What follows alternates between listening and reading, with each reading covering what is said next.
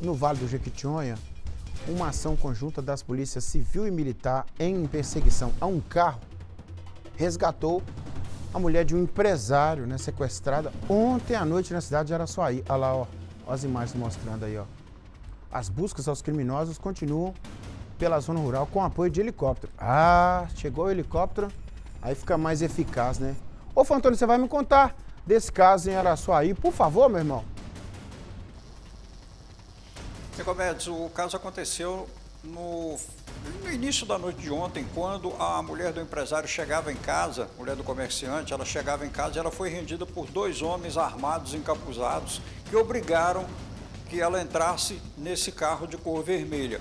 Em seguida, eles fugiram e tomaram rumo à zona rural da cidade. O detalhe, o que os bandidos não perceberam, é que o comerciante também chegava em casa, percebeu a movimentação e, o, fato da mulher dele ser obrigada a entrar dentro do carro por dois homens armados encapuzados. Ele correu até a delegacia e chamou o delegado Ciro Roldão, que imediatamente acionou todo o efetivo da delegacia, acionou a polícia militar e aí começou aquela operação de cerco e bloqueio.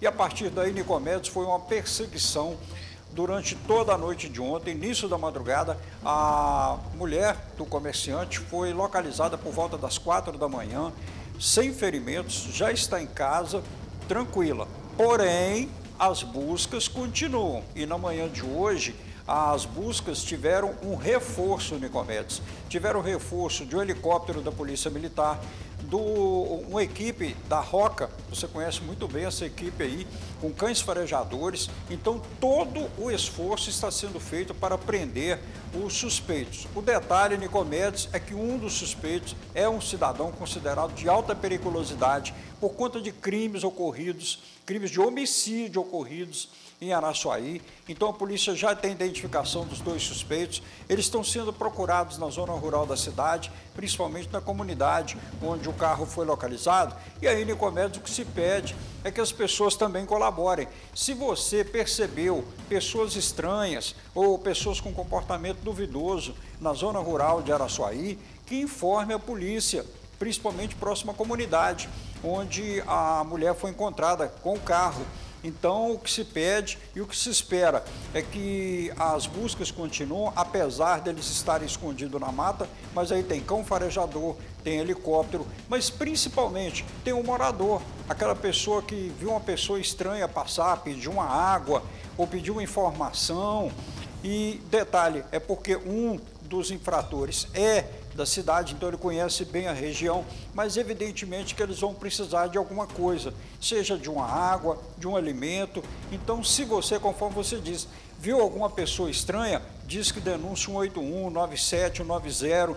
A sua informação é importante, a sua identidade não.